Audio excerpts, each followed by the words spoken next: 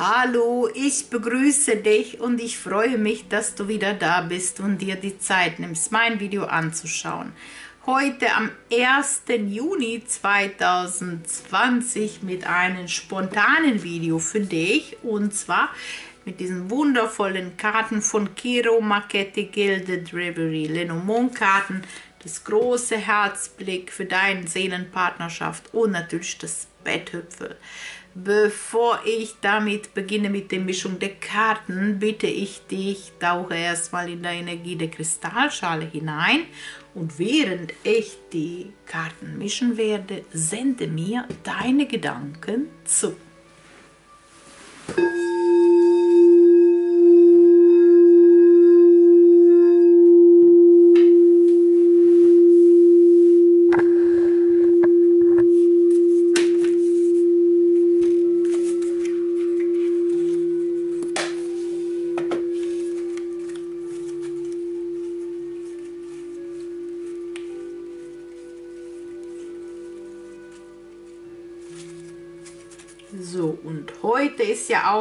Ein Portaltag und ähm, die Energie ist im Loslassen für dich. Es ist wichtig, alles, Begebenheiten und Menschen loszulassen, wo du das Gefühl hast, das hält dich fest, du kommst nicht weiter. Es ist wichtig, wirklich deine Seele frei zu lassen und in diese bedingungslose Liebe zu kommen, dass du auch in deine Seelenpartnerschaft auch diesen Zustand erreichst, dass du ohne Erwartung bist, ja, dass du dieses Gefühl da lässt, ohne Wenn und Aber einfach diese bedingungslose Liebe auch fühlst. Warum geht es hier heute?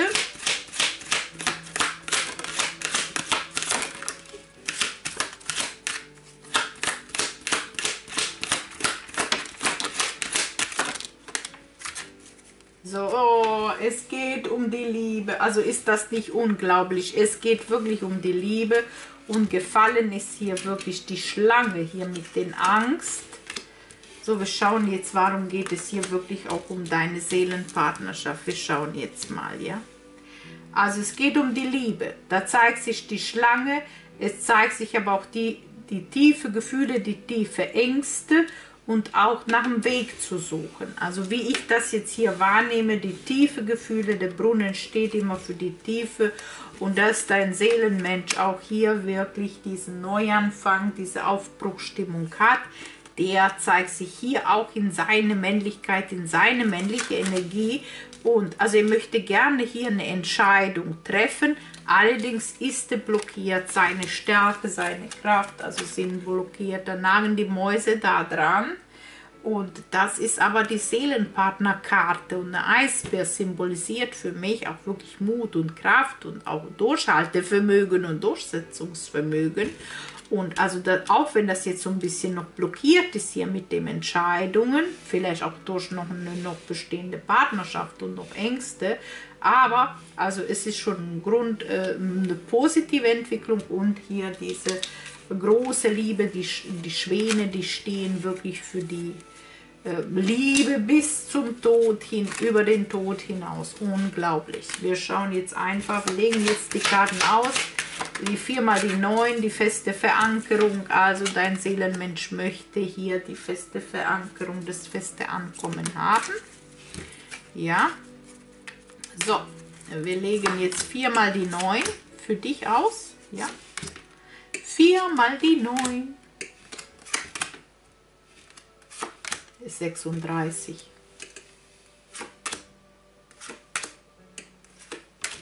4 mal die 9 ist 36 und die Quersumme ist auch wieder die 9 und die 9 steht für die Vollendung, ja.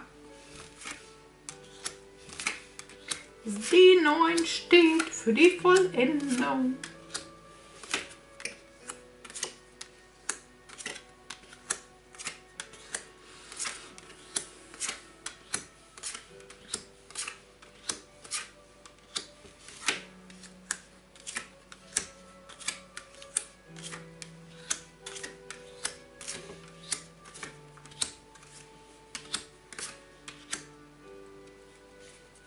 So, ich nehme das Video jetzt am Nachmittag auf und werde das heute Abend eher auch auf jeden Fall für dich freischalten. Es geht hier um die, ja, im Verborgenen. Was ist denn alles im Verborgenen? Verborgen ist, wenn, wenn etwas im Geheimen ist, worüber man noch nicht spricht, wo man was verdeckt, wo man was versteckt, wo das etwas heimlich ist, wo so, so eine Grundenergie.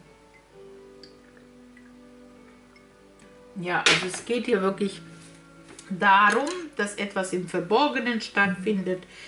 Hier bei dir, du bist hier ziemlich unten, vielleicht spürst du auch diese starke Energie des Portaltages heute, vielleicht bist du so ein bisschen traurig.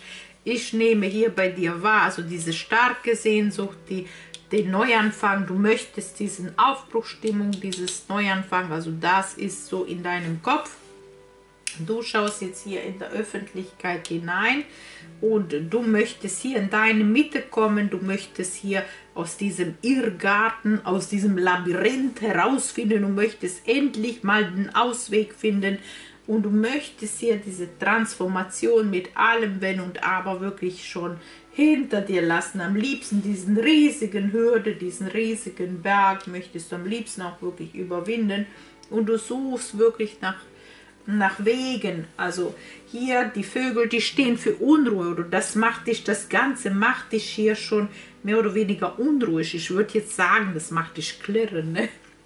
Auf jeden Fall, du möchtest das hier überwinden. Du möchtest wirklich diese, diese, ja, diese, diese, diese Schwierigkeiten, diese, diese Hürden und diese Blockaden und dieses Hin und Her möchtest du also wirklich überwinden und das macht dich unruhig, aber die, die weiße ähm, Eulen stehen auch für die Weisheit. Also du suchst nach einem weisen Weg, nach einer weisen Lösung und vielleicht äh, meditierst du auch und gehst auch hier mit dem Mond im Einklang, vielleicht gehst du auch mit den Mondzyklen, verbindest du auch dich, wenn Vollmond ist oder Neumond ist und bittest du auch um, um geistige Unterstützung oder um Kraft. Und heute ist ja auch ein Portaltag. Ich habe auch vergessen, nochmal für dich zu sagen, du wirst dieses Video erst am Abend sehen.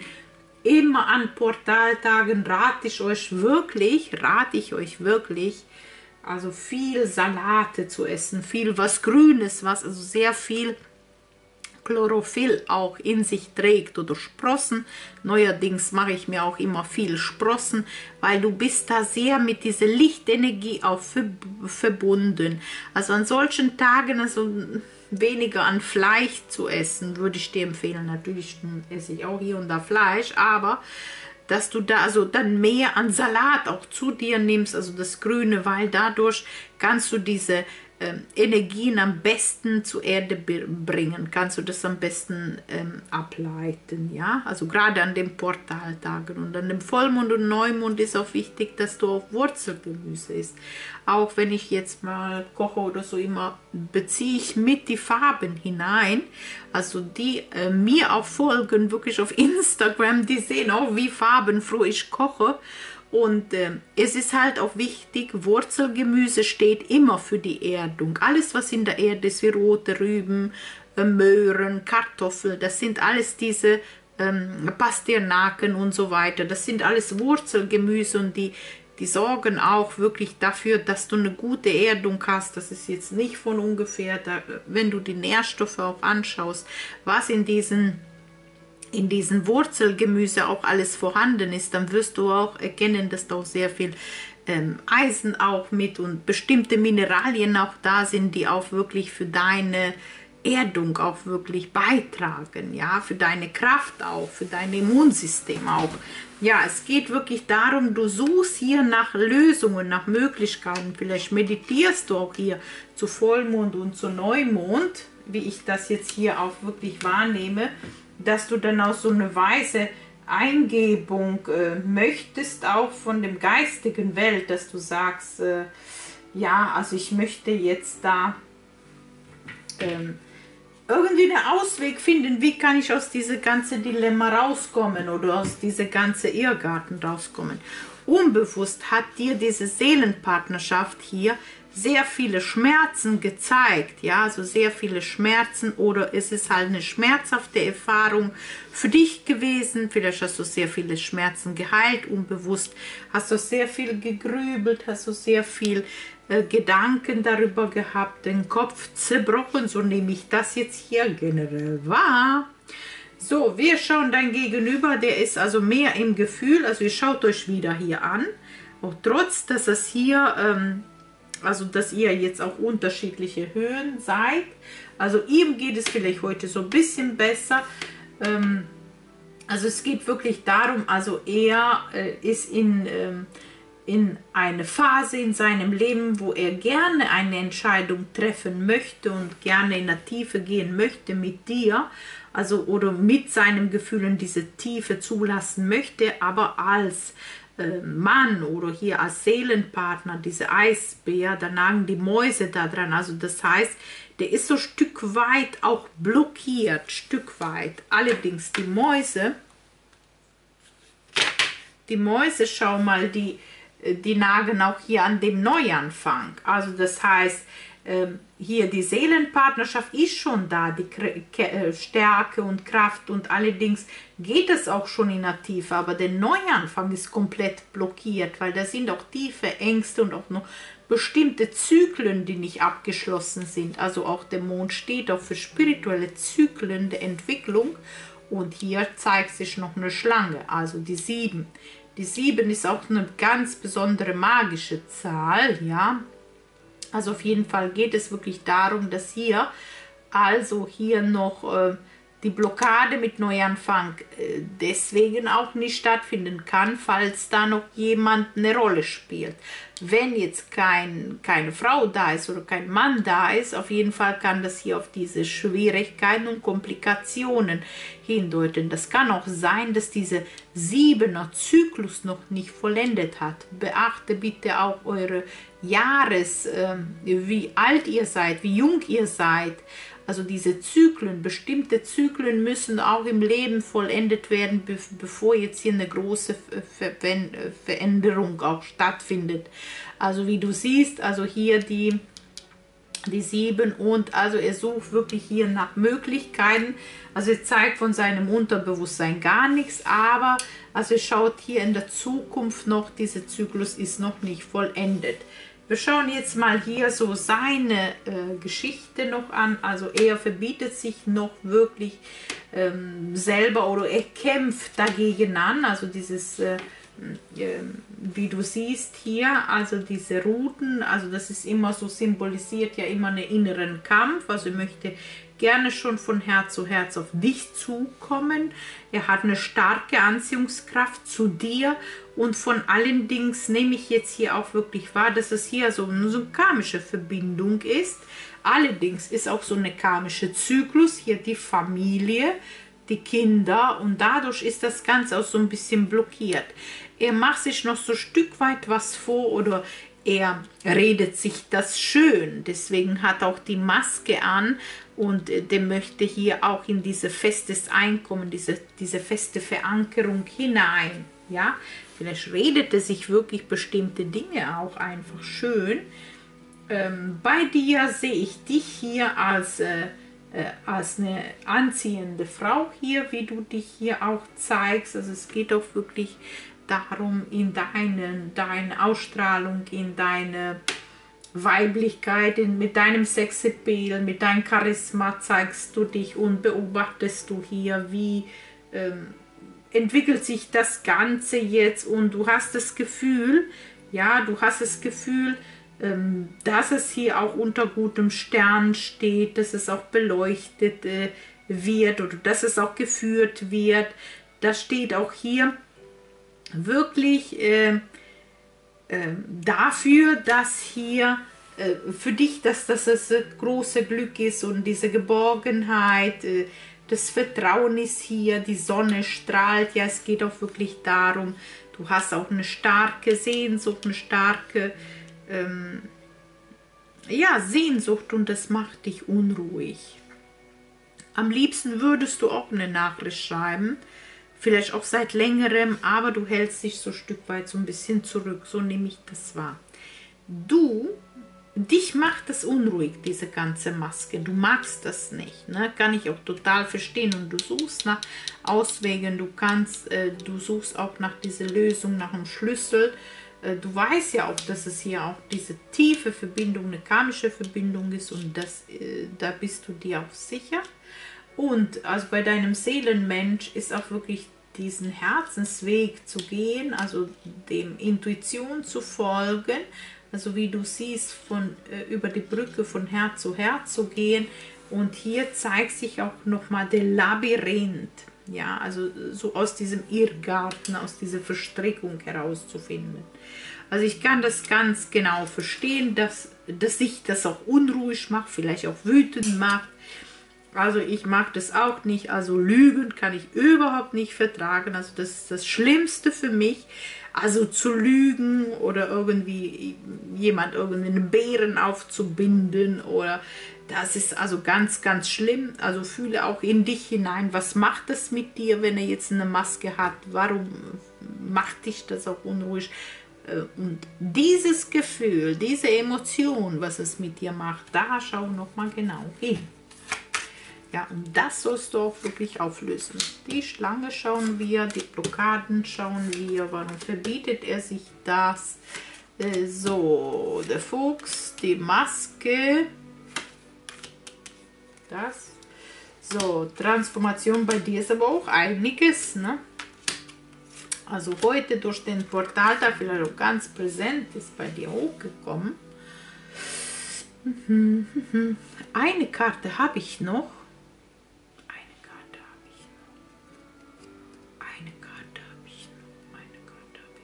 Auf dieses Karmische, ja.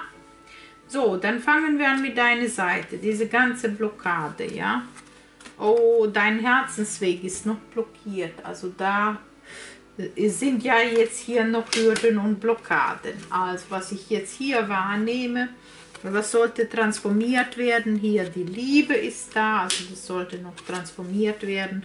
Und dieses Irrgarten sollte wirklich in der Beständigkeit kommen, also Beständigkeit mit Ring. So, Verletzungen, das sind alte Verletzungen im Verborgenen. So, unruhig macht dich das, diese Treue, diese Loyalität, weil du das auch in deine Seele spürst. Und das macht dich dann auch unruhig, dass du das nicht äh, ausradieren kannst. So, die Maske wird ja ganz schnell fallen gelassen, genauso wie jetzt auch nach der Corona so vieles schon gelockert wurde, so wird auch mit der, mit der Maske auch hier eine Lockerung wahrscheinlich bei deinem Gegenüber stattfinden. Warum machte sich was vor? Warum redete sich was schön an? Wegen dem Ansehen, ja? So karmisch, natürlich ist der karmisch, also eine karmische Begegnung, ähm, ja, legte sich selber hin. Was verbietete sich selber? Die Einladung zu dir verbietete sich selber. Was ist hier blockiert? Also die Neuausrichtung, die komplette Neuausrichtung ist noch blockiert. Was ist mit der Schlange?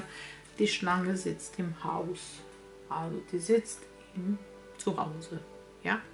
Oder die Schwierigkeiten, falls es keine Schlange in dem wörtlichen Sinne jetzt als Frau oder Mann gibt, denn die Schwierigkeiten liegen im zu Hause noch, ne, bei deinem Seelenmensch. Und ich ziehe jetzt eine Karte noch für dich aus Jean Ruland und Marion Helwig, Maria Magdalena Kartendeck, ja.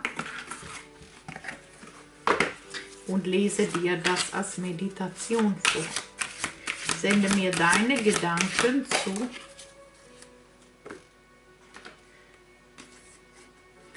weibliche Spiritualität. Ich schwinge meine Kristallschale an.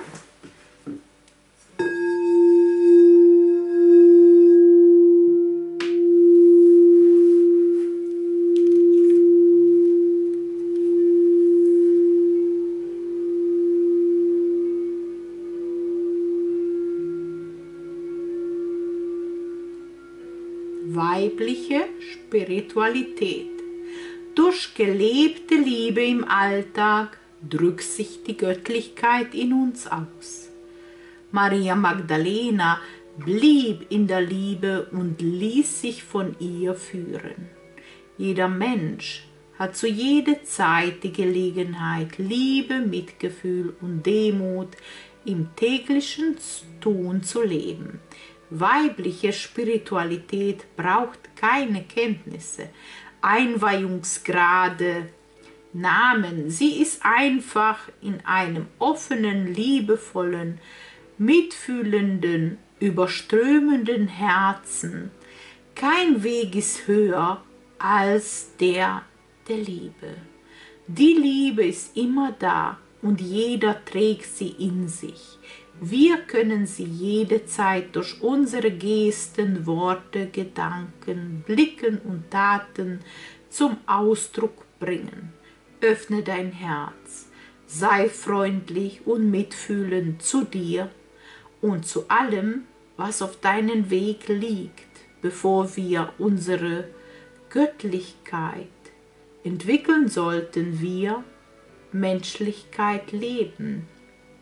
Wo kannst du heute Liebe leben und erfahren?